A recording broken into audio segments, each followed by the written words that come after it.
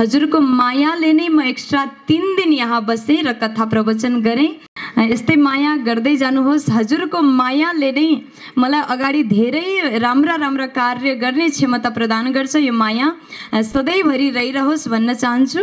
माया गरिराख्नुहोस्। मायाको लागि धन्यवाद। चाहिँ चाहिँ हजुरहरूको लागि हजुरकी नेपालकी छोरीको यो रुतबा देखेर यो जलवा देखेर हजुरहरूले त गौरव गर्नुपर्ने विषय हो। सुरक्षाकर्मी त ठिक छ। म जहाँ जान्छु त्यहाँ प्रहरी प्रशासन पनि पहिलेदेखि नै अलर्ट हुन्छ। र प्रहरी प्रशासनले पनि विशेष यहाँ त हजुरले केवल दस बाह्रजना देख्नुभयो साठी सत्तरीजनासम्मको पनि रेकर्ड छ। म नेपालकी छोरी देवी प्रतिभा सम्मान गर्नको लागि हजुरहरूलाई आदरपूर्वक यहाँ मैले बोलाएको हुँ।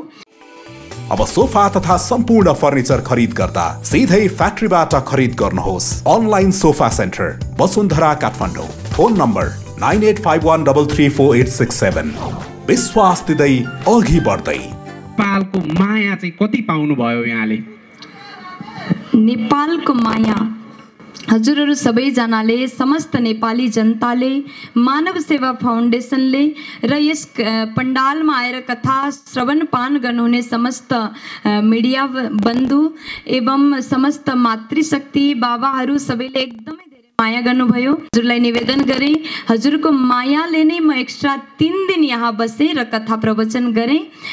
एकदमै राम्रो अनुभव भयो र आजको यो वार्तालाई हामीहरू धेरै लामो पनि नगर्ने किनकि टाइम पनि अलिक कम छ अरू ठाउँमा पनि हामीलाई जानुपर्ने छ हजुरहरू यहाँ आउनुभयो। विशेष गरी यहाँ वार्तालाप गर्नु उद्देश्य थिएन। खास गरी हजुरहरूले मेरो कुराहरूलाई सबैसम्म पुर्याइदिनु भयो यति धेरै प्रेम दिनुभयो स्नेह दिनुभयो। र यहाँ उपस्थित समस्त मिडिया बन्धुहरूलाई म नेपालकी छोरी देवी प्रतिभा सम्मान गर्नको लागि हजुरहरूलाई आदरपूर्वक यहाँ मैले बोलाएको हुँ। अस्तु आजको यो वार्तालाई सम्मान समारोह हामी भन्न सक्छौँ। प्रेस वार्ता होइन सम्मान समारोह। हजुरहरू उपस्थित हुनुभयो एकदमै आनन्द आयो कुरा गरेर सबैजनालाई जय श्री राधे जय श्री कृष्ण र केही शब्द महाराजजी भन्नुहुन्छ तत्पश्चात एउटा अन्तिम सोधिहालेँ रमाइलो। धेरै यसलाई नसोचौँ। अहिले माताज्यूलाई एकदम धेरै शोषण छ कि? एकदम क्रस भनिराख्नु भएको छ होइन? अझ तपाईँ त्यो सांसारिक मोहबाट पर गइसकेको व्यक्ति भन्नुहुन्छ तपाईँ। त्यो चिजलाई तपाईँले कसरी लिनुभएको छ? जुन तपाईँलाई जुन माया देखाइराख्नु भएको छ दर्शक श्रोताले एउटा क्रस भनेर जसले भनिराख्नु भएको छ यस्तै युवती हाम्रो जीवनमा आए हुन्थ्यो भन्ने एक्सपेक्टेसन गर्नु भएको छ। तपाईँले त्यो चिजहरूलाई चाहिँ कसरी लिनु भएको छ? समर्थक एक प्रकारको हुनुहुन्छ। अनि फेरि अघि विवादको कुरा पनि गर्नुभयो होइन? अनि त्यो चिजहरूमा चाहिँ तपाईँले कसरी लिनु भएको छ कि यो विषयलाई चाहिँ? हामीले सोचेको या ठ्याक्कै एन्सर चाहिँ यही नै पाए हुन्थ्यो भन्ने चाहिँ पाएनौँ। त्यो भएर म चाहिँ सुरक्षा सिटिजन एसडीबाट यति धेरै माया पाएँ एकदमै खुसी लागेको छ। यस्तै माया गर्दै जानुहोस्। हजुरको मायाले नै मलाई अगाडि धेरै राम्रा राम्रा कार्य गर्ने क्षमता प्रदान गर्छ। यो माया सधैँभरि रहिरहोस् भन्न चाहन्छु। माया गरिराख्नुहोस्। मायाको लागि धन्यवाद। राधे राधे ल हस् सबैलाई धन्यवाद। र देवीजीको कर कमलबाट यहाँहरूलाई सबैजनालाई मेरो तर्फबाट हार्दिक अभिनन्दन सबैजनालाई जय श्री राधे। आज हजुरहरू यहाँ पर उपस्थित हुनुहुन्छ यहाँ उपस्थित हुनुहुन्छ समस्त मिडिया बन्धुहरू। हजुरहरूले यो भागवत महापुराण श्रीराम कथा पशुपति कोटी होमलाई जन जनसम्म पुर्याउनको लागि विशेष भूमिका निभाउनु भएको छ। र आज यहाँ हजुरहरू सबैजना उपस्थित हुनुहुन्छ। यहाँ खास गरेर कुनै हर ठाउँमा पुर्याइदिने विशेष भूमिका निभाउनु भएको छ। त्यसै कारण हजुरहरू सबैजनालाई धेरै धेरै सम्मान र स्वागत छ। सबैलाई धेरै धेरै अभिनन्दन। बाँकी हजुरहरूको केही प्रश्न छ भने केही जिज्ञासा छ भने पनि गर्न सक्नुहुन्छ। वैसे सोध्न पर्ने जान्न पर्ने कुनै विशेष कुरा होला जस्तो मलाई लाग्दैन। किनकि भागवतको माध्यमबाट मञ्चको माध्यमबाट हजुरहरूको अगाडि बसेर मैले हरेक कुरामा चर्चा गरिसकिसकेँ। कतिपय व्यक्तिहरू सवाल लिएर पण्डालमा उपस्थित हुनुहुन्छ र भागवत एउटा यस्तो मञ्च भागवत वाचन व्यासपीठबाट हर सवालको जवाब अ, यत्तिका दिनसम्म कथा गर्दाखेरि मैले सबैलाई दिइसके जस्तो मलाई लाग्छ। यदि हजुरहरूसँग कुनै जिज्ञासा छ भने हजुरहरू गर्न सक्नुहुन्छ। माताजी नमस्कार। म चाहिँ तपाईँले एक त कोटी होममा एउटा नेपाललाई नै अझ विश्व सामु चिनाउने प्रयत्न गर्नुभयो यसका लागि धन्यवाद। यो बिचमा तपाईँले एक्कासी दुई दिन आफ्नो समय थप्नुभयो। यो भक्तजनहरूको माग देख्नुभयो कि आयोजकको माग देख्नुभयो नेपालमा दुई दिन मैले थपेँ यहाँ हजुरहरूको पनि धेरै प्रेम मैले देखेँ जति पनि भक्तहरू यहाँ आएर कथा सुन्नुभएको छ सबैले मेरो बाणीलाई मेरो कथालाई मन पराइदिनु भयो हजुरहरूको प्रेम र आयोजकको पनि विशेष निवेदन थियो वैसे मेरो आफ्नो जन्मभूमि नेपाल र हजुरहरू सबैको प्रेम सूत्रमा म बाँधिएको हुनाले दुई दिन मैले थप्ने निर्णय लिएँ। नमस्कार। म मनोज नेउपाने नेपाल विशेषको सम्पादक। यहाँलाई नेपालमा स्वागत गर्न पाउँदा हामी खुसी छौँ र त्यसरी सबैले कथा श्रवण गर्नुभएको छ त्यसमा पनि हामी खुसी छौँ। र विशेष गरेर तपाईँ मिडियामा साक्षात्कार हुनुभएको छ यो हाम्रा लागि खुसीको कुरा हो। हजुर। र मेरो चाहिँ प्रश्न के हो भने यो एक्काइसौँ शताब्दीमा छौँ हामी र विज्ञानसँग हामी हिँडिराखेका छौँ र धर्म पनि हामी त्यति नै मान्दछौँ। तर एउटा विषय चर्चा चर्चित भएको छ र नेपालका बुद्धिजीवी वर्गहरूदेखि लिएर पत्रकारदेखि लिएर सामान्य महिलाहरूले पनि त्यसमा तपाईँमाथि आपत्ति जनाउनु भएको छ कि? धर्मग्रन्थमा भनिएको अनुसार चाहिँ श्रीमानले जे जे भन्नुहुन्छ श्रीमतीले त्यो गर्नुपर्छ भन्ने चर्चामा छ। के हामी कथावाचक कथावाचिकाले चाहिँ पछिल्लो समयको परिवर्तन विज्ञान स्वास्थ्यमा रहेर र अन्य समानताका कुरा समान दृष्टिकोणका कुरामा चाहिँ प्रवचन दिन सकिन्छ कि सकिँदैन? त्यो कुरा सही थियो या गलत थियो यसमा चाहिँ प्रश्न पारिदिनु होला। धन्यवाद। धर्ममा सत्य सनातन धर्मको यदि हजुरले राम्रोसँग अध्ययन गर्नुहुन्छ भने मलाई लाग्छ यहाँ उपस्थित समस्त सत्य सनातन धर्म धर्ममा नै हुनुहुन्छ। वैदिक सनातन धर्मलाई फलो गर्ने हजुरहरू हुनुहुन्छ। र हाम्रो धर्मले नै यदि हजुरले राम्रोसँग अध्ययन गर्नुभए पनि अहिले विज्ञानको युग छ र कहीँ न कहीँ विज्ञानको आविष्कार पनि सर्वप्रथम सनातन धर्मबाट नै भएको थियो। पुरातन कालमा पनि यदि हजुरहरूले शास्त्र अध्ययन गर्नुभयो भने धेरै यस्तो आविष्कारहरू छन् जुन हाम्रो ऋषिमुनिहरूले गर्नुभयो। र त्यसैलाई अहिले विज्ञानले त्यही चिजलाई लिएर बढावा दिएको छ तरक्की गरेको छ। विज्ञानको तरक्कीमा पनि कहीँ न कहीँ धर्मशास्त्रको विशेष हात छ। कहीँ न कहीँ नै एकदम म भन्नुपर्दा विज्ञानमा पनि धर्मको विशेष भूमिका छ। र हामीले अहिलेको युगमा विज्ञानको साथमा धर्ममा पनि बसेर अगाडि बढ्नु पर्दछ। नमस्कार मेरो नाम किशोर श्रेष्ठ युवा मन नेपालबाट। जस्तो पछिल्लो समय तपाईँले दिनुभएको एउटा अभिव्यक्ति अलिकति विवादास्पद भइरहेको छ। त्यो के हो भने जस्तो शाश्वत सत्य हो जन्म विवाह र मृत्यु। तर सम्बन्ध विच्छेद भनेको कसको भाग्यमा कहाँ के लेखेको हुन्छ सम्भवतः त्यो कुराको अड्कलबाजी कसैले गर्दैन। र तपाईँले जोड्नु खोज्नु भएको जुन सम्बन्ध विच्छेद चाहिँ गर्नै हुँदैन अथवा भनौँ एउटा महिलाले चाहिँ जस्तो सुकै परिस्थिति आइपरे पनि श्रीमानको साथ छोड्नु हुँदैन सम्बन्ध विच्छेद गर्नु हुँदैन भन्दै गर्दाखेरि हिजो परापूर्व कालदेखि आजसम्म पनि एउटा हेपिएर चेपिएर बस्नु परेका महिलाहरूलाई अझै दबिएर बस्नुपर्छ भन्ने खालको तपाईँको त्यो भाव देखियो भनेर सामाजिक सञ्जालमा एक किसिमको टिका टिप्पणी भइरहेको छ एउटा प्रश्न। र अर्को तपाईँहरूले कथा वाचन गर्दै गर्दाखेरि मरेर लाने दुई दिनको चोला के नै छ र? हात खोलेर दिनुपर्छ भन्नुहुन्छ तर पारेर लिएर जानुहुन्छ भन्ने प्रश्न छ कति लिनुभएको छ?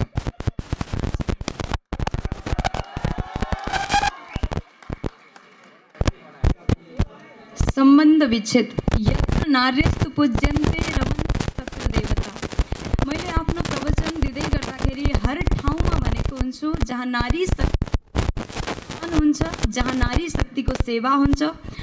सम्मान इज्जत यदि नारी शक्तिलाई गरिन्छ भने त्यो ठाउँमा देवताहरू पनि रमण गर्नुहुन्छ।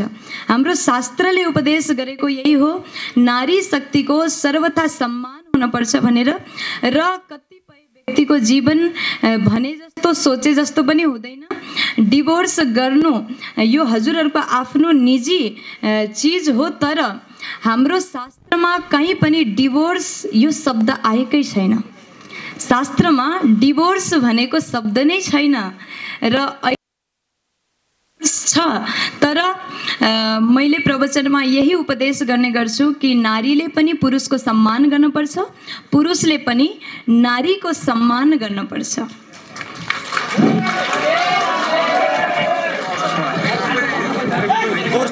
जस्तो यो मेरो दोस्रो प्रश्नको तपाईँले जवाफ दिए अलि खुसी मिल्थ्यो कि? यो प्रश्नको एन्सर महाराजजी? यस्तो छ। जय राधे। र जुन प्रश्न आदरणीय सरले गर्नुभएको छ यो सामाजिक सञ्जालमा विभिन्न मिडियामा। मिडियामा भन्दा पनि केही सामाजिक सञ्जालमा अलिकति बढाउनु त पऱ्यो यो।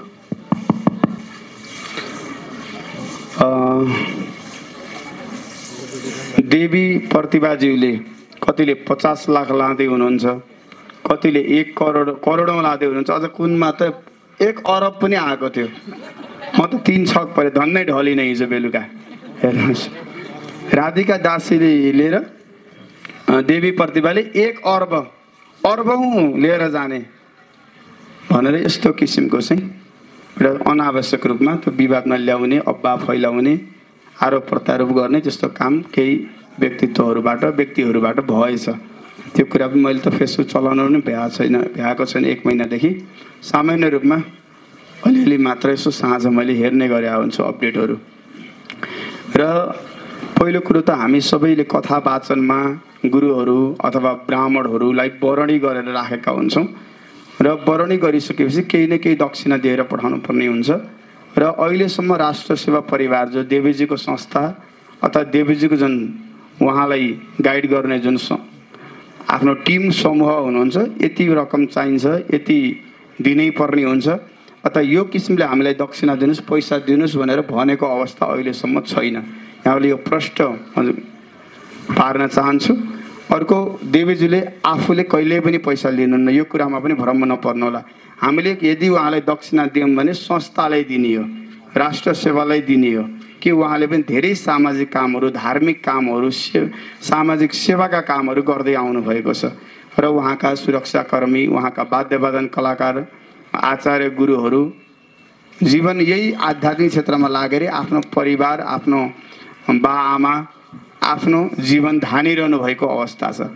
एकजना कुनै राष्ट्रिय स्तरको कलाकार ल्याएर मञ्चमा एउटा दुईवटा गीतहरू गाउँदाखेरि मेला महोत्सवहरूमा अब यहाँ हाम्रो पूज्य राधिका दिदी पनि हुनुहुन्छ मेला महोत्सवमा आउने जाने प्लेन टिकट दिइन्छ स्टार स्टार होटलहरूमा राखिन्छ जे खान मन लाग्यो त्यो प्रदान गरिन्छ। एक घन्टा दुईवटा चारवटा पाँचवटा गीतहरू गाएर आउनु भने पचासौँ हजार रुपियाँ एक घन्टाको लिएर आउनुहुन्छ। यहाँहरू सबैलाई त्यो थाहा पनि छ। हामीले दिने पनि गरेका हुन्छौँ। र त्यो किसिमले हाम्रो न त मैले न त देवीज्यूले तोक्ने काम र उहाँको संस्थाले त्यस्तो गर्नुभएको छैन। यातायात खर्चदेखि सामान्य राष्ट्र सेवा परिवारलाई हामीले उचित मूल्याङ्कन गरेर आयोजक समितिले सो इच्छाले जति चाहिँ दक्षिणा दिनुहुन्छ त्यसलाई स्वीकार्छौँ भन्ने उहाँहरूको वचन छ। त्यो भएर यो पचास लाखको कुरै छोडौँ त्यो करोडको पनि अर्बको कुरा। यो कहाँबाट बेकारको कसले हल्ला गराइदिनु भयो? त्यो हल्लाको पछाडि पक्कै यहाँहरू जस्तो दिग्गज व्यक्तित्व लाग्नुहुन्न जस्तो लागेको छ मलाई। यही हो यसको उत्तर। जय श्री राधे हेलो। नमस्कार मेरो नाम महेश पेसी। कृष्ण दाई माथि आइसु न। हजुर। नमस्कार मेरो नाम महेश पेसी। म अनलाइन खोजबाट। विशेष गरी भनिन्छ कुनै पनि मान्छेलाई डर भएपछि मान्छेले सुरक्षाकर्मी बोक्ने गर्छ या नेता होस् या सेलिब्रिटी होस् त्यो मान्छेले आफ्नो सुरक्षा को लागि अगाडि पछाडि बढिकार राख्छ भनिन्छ। तपाईँ आफ्नो जीवन भगवान्लाई नै सुम्पिनु भएको आफ्नो जीवन भनौँ न आध्यात्मिकतिर लाउनु भएको मान्छेलाई के को डर भएर तपाईँहरूले अगाडि पछाडि सुरक्षाकर्मी हिँड्नु भएको? यसको पनि जवाब प्रश्न दिँदाखेरि तपाईँकै भक्तहरू खुसी हुन्थ्यो होला बिल्कुल धन्यवाद प्रश्नको लागि। हजुरको प्रश्न एकदमै सराहनीय छ अति उत्तम हजुरको सवाल छ। कथाको क्रममा भागवत श्रीराम कथा वाचन गर्ने क्रममा म धेरैवटा ठाउँमा पुग्छु नेपाल भारत अन्य कन्ट्रीमा पनि र जहाँ पनि देवी प्रतिभाको कथा हुन्छ त्यहाँ भिड त धेरै नै हुन्छ तमाम भिड हुन्छ। हजुरहरूले अहिलेको समयमा पशुपतिनाथमा पनि देखिरहनु भएको छ र भारतमा विविध ठाउँमा योभन्दा पनि डबल भिड हुने भएकोले देवी प्रतिभाको कथा होने हुनेवाला जग्गामा पहिले नै सूचना हुन्छ र पहिले नै सुरक्षाकर्मी त ठिक छ। म जहाँ जान्छु प्रहरी प्रशासन पनि पहिलेदेखि नै अलर्ट हुन्छ। र प्रहरी प्रशासनले पनि विशेष यहाँ त हजुरले केवल दस बाह्रजना देख्नुभयो साठी सत्तरीजनासम्मको पनि रेकर्ड छ। नमस्कार। र यो विषय चाहिँ हजुरहरूको लागि हजुरकी नेपालकी छोरीको यो रुतबा देखेर यो जलवा देखेर हजुरहरूले त गौरव गर्नुपर्ने विषय हो। नमस्कार म चाहिँ अर्जुन विष्ट राइट संसार मिडिया सञ्चालन गर्छु। देवी प्रतिभाज्यूको जुन यो आगमनले यति बेला नेपालीहरूमा साँच्चीकै एउटा हर्ष उल्लास र धार्मिक आस्थाप्रतिको एउटा छुट्टै महत्त्व पनि बढेको छ। पशुपतिमा धेरै भक्तजनहरू तपाईँकै प्रवचन सुन्नको लागि पनि आउनु भएको छ। र इन्डियामा पनि तपाईँ शीर्षस्थ टप थ्रीभित्र पर्नुहुन्छ भन्ने जुन हामीले सुनेका छौँ यो नेपालीहरूको लागि एउटा गौरवको कुरा पनि हो। र नेपालको चेली एउटा भारतमा गएर यति राम्रो सम्मान पाउनु भएको छ भने नेपाललाई लिएर भावी तपाईँका योजनाहरू चाहिँ के के छन्? तपाईँलाई धेरैको माया पाउनु भएको छ। नेपाललाई चाहिँ के के गर्दै हुन्छ आगामी प्लानहरू यति मात्रै मैले जान्न चाहेको। धन्यवाद। नेपालको गरिमालाई विश्व सामु चिनाउनु मेरो उद्देश्य हो। अहिले त विगत धेरै वर्षदेखि भारतमा मैले कथा प्रवचन गर्दै आएको थिएँ। नेपाललाई लिएर योजना के छ भन्दा पनि अहिले त सुरुवात हो अगाडि। कुनै पनि भक्तजनलाई तिमीले यो गर या त यो नगर या त यो तिमीले गर्नुपर्छ भनेर चाहिँ प्रलोभन दिने हेतुबाट चाहिँ कुनै पनि किसिमको त्यस्तो क्रियाकलाप हुनु हुँदैन भन्छ। तर हामीले चाहिँ भागवत सुन्दा या त फेरि कथा पुराण सुन्दा या त फेरि प्रवचन सुन्दा अक्सर तपाईँहरूले भन्नुहुन्छ हामी यो संसारमा के लिएर आएको छैनौँ के लिएर जाँदैनौँ? तर ती नै भक्तजनहरूबाट तमाम रकमहरू उठाइन्छ। उहाँहरूलाई म्यानिपुलेसन गरिन्छ। यो अब मैले ठ्याक्कै म्यानिपुलेसन भन्दा पनि कतिपय शब्दहरू चाहिँ मैले अलिकति मिस्टेक गरेँ होला तर कतै न कतै हामीले उहाँहरूको माइन्ड सेटमा यो सेट गरिदिन्छौँ कि हामीले दान दिनुपर्छ। जबकि दान भनेको चाहिँ गुप्त हुनुपर्छ। दान दिने कुरा भनेको आफ्नो स्व मनबाट हुनुहुन्छ। हामीले यहाँ तपाईँकै मुखबाट पनि सुन्यौँ म यहाँ केही लिन आएको होइन केही पैसा चाहि चाहिएको छैन मलाई तर तिनै भक्तजनहरूबाट यहाँ लाखौँ करोडौँ रुपियाँ उठेको छ। चार पाँचवटा त सचिवालय मात्र छ। अर्थ मन्त्रालयको सचिवालय त हामीले देखेका थियौँ। यो फर्स्ट टाइम मैले चाहिँ हाम्रो यत्रो ठुलो कोटियममा चाहिँ करिब एक दर्जन जति सचिवालयहरू देखेँ। यसमा चाहिँ तपाईँ के भन्नुहुन्छ? खासमा भक्तजनहरूले आफ्नो स्व मनबाट दान दिने हो कि तपाईँहरूले उहाँहरूको माइन्ड सेटमा यो सेट गरिदिने हो कि? होइन तपाईँहरूले दान दिएपछि मात्र स्वर्गको द्वार खुल्छ। किनकि एकजना महिला आउनु भएको थियो। उहाँले पाँच हजार मात्र दिन खोज्नु भएको थियो सुरुमा। पछि उहाँले एक लाख रुपियाँ दान दिएर जानुभयो। भन्ने कुरा समाचार पाँच लाख रुपियाँ दान दिएर जानुभयो। यो समाचार सम्प्रेषण भएको छ। यसलाई हामीले कसरी हेर्ने यसले कतै हिन्दू धर्ममाथि नै प्रश्न त उठाउँदैन। नै। कृपया। हिंसया दूयते हृदयम यस्य स हिन्दू हिन्दूको अर्थ यही हो जुन जसको हृदय हिंसा देखेर डराउँछ जसको हृदय अन्याय अत्याचार देखेर डराउँछ हाम्रो हिन्दू धर्म हाम्रो सनातन धर्म यति उदार छ सबैजनालाई सम्मान गर्ने सेवा गर्ने र स्वागत गर्ने सामर्थ्य हिन्दू धर्ममा छ रही बात दान की दानको कुरा हजुरहरूले गर्नुभयो। यहाँ मानव सेवा फाउन्डेसनद्वारा पशुपति कोटी होममा विशाल आयोजन भएको छ। र जुन मानव सेवाले विगत धेरै वर्ष पहिलादेखि नै सामाजिक काम दिन दुखी गरिबहरूको सेवा अरूको आँखाको आँसु पुस्ने काम भुखालाई भोजन खिलाउने काम गर्नुभएको छ। यो भावलाई देखेर जो सच्चा सनातनी हिन्दू हुनुहुन्छ उहाँको मन आफै यहाँ आएर स्वेच्छा हुन्छ। यहाँ कहिले पनि भनिँदैन कि हजुरले यति नै दिनुपर्छ भनेर तोकेको छैन। व्यासपीठबाट कसैको प्रति पनि यो माइन्डसेट सेट गरिएको छैन। यहाँ आएर यहाँको कार्यलाई देखेर जबसम्म हामीहरूले कसैलाई दिँदैनौँ तबसम्म जबसम्म हामीहरूले आफ्नो आँखाले सेवालाई देख्दैनौँ तबसम्म हामी दिँदैनौँ। जबरजस्ती केही पनि छैन। यहाँ आएर त्यो सेवालाई त्यो भावलाई दिन दुखीको पीडालाई देखेर हजुरहरू आफ्नै मनले दिइराख्नु भएको छ। दिनेलाई स्वीकार छ नदिनेलाई जबरजस्ती छैन। प्यार से बोलो। नमस्कार म वीरेन्द्र धामी बुद्ध टुडेबाट अब दुईवटा सर्वप्रथम त म यहाँलाई जन्म दिने माता पितालाई चाहिँ नमन गर्न चाहन्छु र तपाईँ एउटा नेपालको छोरी भएर नेपालको नाम विश्वमा एउटा चाहिँ चिनाउनु भएको छ त्यसको लागि तपाईँलाई विशेष धन्यवाद दिन चाहन्छु र यहाँलाई मेरो प्रश्न चाहिँ के छ भने जसरी तपाईँ विगत करिब चौध पन्ध्र दिनदेखि नेपालमा बसिरहनु भएको छ हुन त विगतमा पनि यहाँ नेपालमै बसेर मैले यहीँ आफ्नो प्राथमिक शिक्षा यहीँ अध्ययन गरेको हुँ भनेर पनि भन्नुभएको छ। र अहिलेको यहाँको विशेष गरी नेपालको बसाइ चाहिँ कस्तो रह्यो?